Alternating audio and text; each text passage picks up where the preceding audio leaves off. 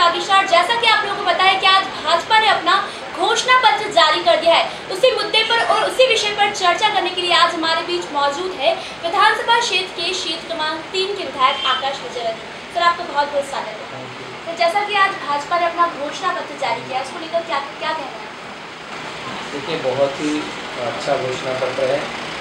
Safety security से लेकर financial strength हमारे देश की बड़े उन सबको ध्यान में रखते हुए बनाया। आप देखें कांग्रेस का जो घोषणा पत्र था उसमें सबसे पहले प्रहार हमारी सेफ्टी सिक्योरिटी पे थी। सेना को जो स्पेशल पावर्स दिए जाते हैं उस पर कटौती की बात उन्होंने कही। फिर राजद्रोह का जो मुकदमा चलता है देशद्रोहियों पर उसे हटाने की बात की। तो शुरुआत ही उन, उनके घोषणा पत्र में राष्ट्रद्रोह से हुई थी और हमारा, हमारे में, हमारी सेफ्टी सिक्योरिटी को ध्यान में रखते हुए सेना को मज़बूत करना, पुलिस को और अत्याधुनिक बनाना, उससे हुई और उसके बाद फिर किसानों को बहुत सारी सुविधाएँ हैं, जैसे किसान क्रेडिट कार्ड पर ब्याज मुक्त ऋण देने की बात कही है। तो ग्रामीण क्षेत्र में रोज़गार बढ़ाने के लिए पशुपालन में बड़ा निवेश होने जा रहा जा रहा है। मछली पालन में दुग्ध जो इंडस्ट्री है, उसके लिए बहुत अच्छा काम होने वाला है। तो ग्रामीण क्षेत्र में रोज़गार बढ़ाने की बात की है, साथ ही साथ skill development make in India और शहरों का जो विकास है, उस पर फोकस करके शहरी क्षेत्र में भी रोज़गार को बढ़ावा देने का प्रयास कर है। मेरा एक क्वेश्चन ये हमारे यहाँ सबसे बड़ा मुद्दा होता है व्यापार को लेकर किसानों को लेकर, रोज़गार, महिलाओं को न्याय उसके लिए क्या नीतियाँ बनाई गई भाजपा की घोषणा पत्र देखिए किसानों की जो मैंने आपको बताई है उनकी आय देर गुनी हो, इसका प्रयास सरकार करेगी और तमाम जो चीज़ें मैंने अभी बताई उस पर काम कर रही है सरकार। और रोज़गार के लिए भी make in India skill India skill जो प्रधानमंत्री कौशल विकास और फिर शहरों का जो डेवलपमेंट, उसके बाद जो इंफ्रास्ट्रक्चर डेवलपमेंट हमारा हो रहा है सड़क बिजली, पानी आज घर घर बिजली पहुंचाई जा रही है। सड़कें 40 किलोमीटर प्रतिदिन की रफ्तार से बन रही है। पानी के तो इससे भी रोज़गार मिलता है। जब कंपनी जाकर के काम करती है इंफ्रास्ट्रक्चर डेवलपमेंट का तो रोज़गार लोगों को मिलता है। स्वास्थ्य के क्षेत्र में जैसे आयुष्मान योजना है हमारा स्वच्छ भारत है, खेलों तो स्वास्थ्य स्वास्थ्य के क्षेत्र में भी बहुत अच्छा काम करता है। कुल मिला के ओवरऑल डेवलपमेंट गरीब से लेकर के किसान तक और किसान से लेकर के उद्यमी तक, हर वर्ग का डेवलपमेंट मतलब लोन जो मुद्रा योजना के माध्यम से लोन की बात कही गई वो भी वाकई में बहुत अच्छा अच्छी योजना है। बहुत ही सराहनीय मैं कहूँगा ये जो घोषणा पत्र है और फिर जो बच हमारा पेंशन मजदूरों को पेंशन हर अनऑर्गेनाइज सेक्टर के जो वर्कर्स हैं, उनको पेंशन की बात कही गई। कुल मिलाकर के अंत्योदय, नीचे से व्यक्ति उत्तर के ऊपर आए, ऐसा ये बजट है। बहुत ही अच्छा बजट नहीं क्षमा चाहूँगा। घोषणा देखा आपने किस तरह आकाश विजयवर्गीय कहा कि चाहे व्यापार हो, चिकित्सा हो, महिलाओं के न्याय की बात हो या रोज़गार हो हर वर्ग का व्यक्ति आज पीछे नहीं रहेगा। हर वर्ग के व्यक्तियों के लिए नई नई नीतियाँ घोषणा पत्र में जारी की गई है। जैसा कि आपने देखा कि आज भाजपा ने अपना घोषणा पत्र जारी कर दिया है, उसी विषय पर चर्चा करने के लिए हमारे बीच आज मौजूद है नगर अध्यक्ष गोपी कृष्ण नेमा जी। आज हम उसी विषय पर आज उनसे चर्चा करेंगे कि भाजपा ने जो घोषणा पत्र में जारी किया है, उसको लेकर क्या क्या नीतियाँ बनाई गई है। जैसा कि भाजपा ने अपना घोषणा पत्र जारी किया है, उसमें व्यापारियों को लेकर, रोज़गार को लेकर, महिलाओं को लेकर नीतियाँ बनाई गई। उस पर क्या कहना है? भारतीय जनता पार्टी ने जो आज संकल्प पत्र जारी किया इसमें पिछहत्तर मुख्य बिंदु हैं। देश को आगे ले जाना तो देश के 2022 में जब आज़ादी के पिछहत्तर साल होंगे, उसको लक्ष्य रख के पिछहत्तर बिंदु तय किए। और समाज के हर वर्ग,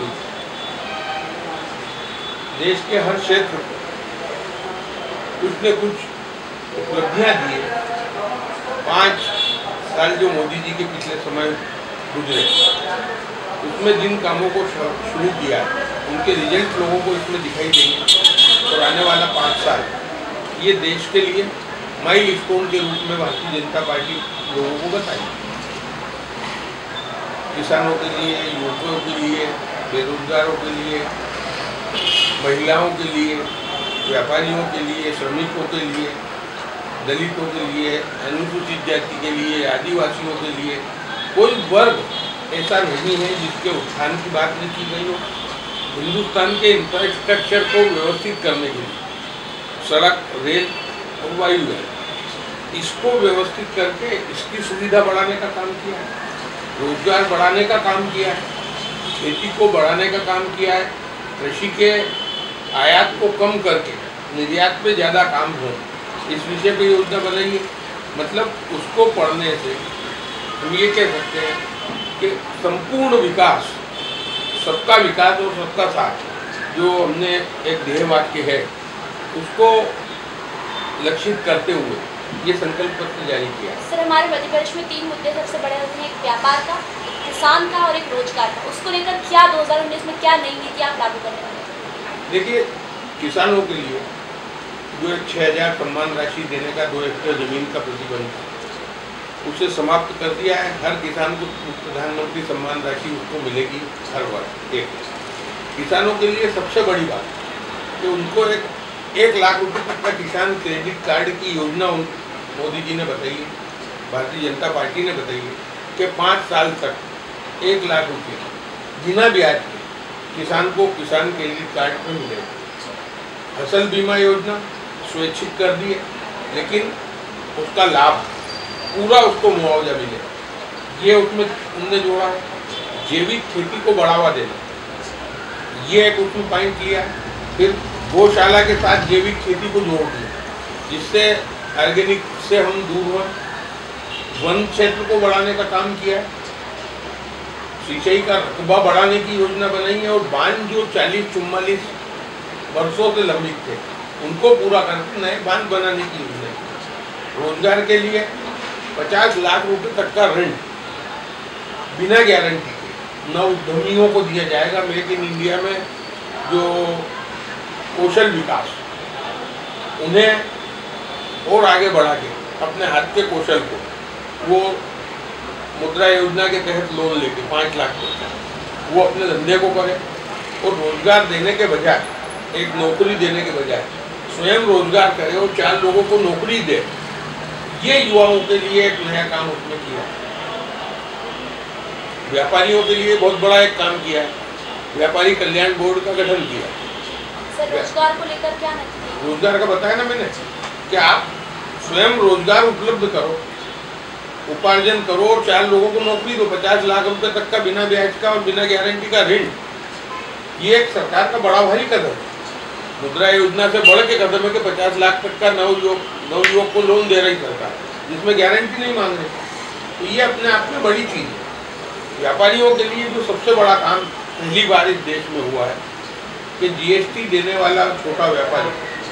उसे दस लाख रुपए का दुर्घटना बीमा, जो जीएसटी देता है व्यापारी, छोटा मझला व्यापारी, उसे दुर्घटना बीमे की श्रेणी में लाया है कि जिसका अगर जीएसटी देने वाला व्यापारी है तो दस लाख तक का उसका दुर्घटना बीमा। उसको आगे जाके व्यापारी पेंशन, छोटे व्यापारी को, कि वो असहाय हो जाए, शरीर से कमज़ोर हो जाए और व्यापार नहीं कर पाए, और जीएसटी देता हुआ छोटा व्यापारी है तो उसे ज़िंदगी भर पेंशन गवर्नमेंट ऑफ़ इंडिया देगी।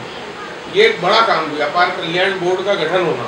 और उसमें ये दो निर्णय सरकार ने जो घोषित किए ये अपने आप में माइल स्टोन जैसे होगा मतलब साहब आपने कहा कि कोई सा भी वर्ग पीछे नहीं रहेगा सभी वर्गों को कुछ ना कुछ फ़ायदा मिलेगा चाहे व्यापार हो रोज़गार हो महिलाओं से जुड़ा हो या न्याय हो। जैसे कि आप सभी को पता है कि आज भाजपा ने अपना घोषणा पत्र जारी कर दिया है। उसको लेकर आज हमारे बीच मौजूद है प्रदेश प्रवक्ता उमेश शर्मा जी। अ, सर आपका बहुत बहुत स्वागत है। सर मैं ये जानना चाहूँगी, जैसे आज भाजपा ने अपना घोषणा पत्र जारी किया है, उसको लेकर कई योजनाएँ उन्होंने कहा है कि यही योजना यहाँ भारत में लाई जाए भारतीय जनता पार्टी का जो आज संकल्प पत्र जारी करा गया है, ये संकल्प पत्र प्रखर राष्ट्रवाद का जीवंत दस्तावेज़ है। इसके शब्द शब्द से शौर्य परिलक्षित हो रहा है। ये भारत के स्वाभिमान का, भारत के गौरव का और भारत के पराक्रम का वैश्विक और विराट स्वरूप प्रदर्शन करा गया है। भारतीय जनता पार्टी के प्रधानमंत्री नरेंद्र मोदी जी की उपस्थिति में हमारे राष्ट्रीय अध्यक्ष अमित शाह जी ने और संकल्प पत्र निर्माण समिति के अध्यक्ष राजनाथ सिंह जी ने जो संकल्प पत्र जारी करा, इसमें भारतीय जनता पार्टी ने अपनी प्रतिबद्धता दोहराई है। हमने कहा है कि भारतीय जनता पार्टी धारा 370 को समाप्त करने के लिए प्रतिबद्ध है। हमने कहा है कि राम जन्मभूमि पर मंदिर का निर्माण होना चाहिए, ये भारतीय जनता पार्टी की प्रतिबद्धता में शामिल है। हमने कहा है कि जो सीमा से घुसपैठ होती है, इस घुसपैठ के विरुद्ध सुरक्षा बलों को और भी ज़्यादा फ्री हैंड दिया जाएगा और जो घुसपैठिए हैं, उनके साथ बहुत ही ज़्यादा निर्मम व्यवहार किया जाएगा। भारतीय जनता पार्टी ने संकल्प पत्र के अंदर दोहराया कि नागरिक बिल कोड के बारे में हम लोग अपना स्पष्ट दृष्टिकोण इसमें प्रकट कराए। भारतीय जनता पार्टी ने कहा है कि यूनिफॉर्म सिविल कोड के बारे में हम लोग इसको समान नागरिक संहिता को लागू करेंगे। तो जो हमारे मूल विचारधारा के बिंदु रहे हैं, वो तो समाहित है इसके बावत इस घोषणा पत्र में कुछ नवाचार भी शामिल करे गए हैं। भारतीय जनता पार्टी ने ये विचार करा, प्रधानमंत्री जी को लगा कि जो छोटे और मझोले दुकानदार होते हैं, उनके पास तो कोई प्रोविडेंट फंड नहीं है, भविष्य निधि नहीं है। और एक समय ऐसा आता है कि व्यक्ति अशक्त हो जाता है, काम करने के योग्य नहीं रहता। है तो प्रधानमंत्री जी ने अपने इस घोषणा पत्र में नरेंद्र मोदी जी की सरकार के संकल्प पत्र में कहा गया है कि 60 वर्ष की आयु के बाद छोटे जो दुकानदार हैं, उनको पेंशन दी जाएगी। जो छोटा किसान है उसको पेंशन दी जाएगी। खेती की आय को दो गुना करा जाएगा। और दो गुना करने के लिए क्या करना चाहिए? तो पहला कदम उठाया कि क्रेडिट कार्ड जो है, उसको हम लोग ब्याज मुक्त करेंगे। खाद के ऊपर सब्सिडी को बढ़ावा दिया जाएगा। बहुत सारी इस प्रकार की घोषणाएँ। एक और बहुत महत्वपूर्ण बिंदु इस घोषणा पत्र में है, वो है राष्ट्रीय व्यापार आयोग का। पहली बार किसी सरकार ने यह विचार करा कि व्यापारियों का प्रतिनिधित्व तो संवैधानिक शक्ति के साथ होना चाहिए। तो राष्ट्रीय व्यापार आयोग का गठन किया जा रहा है। इस राष्ट्रीय व्यापार आयोग में जो व्यापार जगत के घटक हैं, चाहे कपड़ा बाज़ार हो, बर्तन बाज़ार हो, और भी अन्य जो व्यापारिक क्षेत्र होते हैं, दलहने हैं, तिलहने, सबके व्यापारियों का प्रतिनिधित्व करके एक राष्ट्रीय व्यापार आयोग बनाया जाएगा।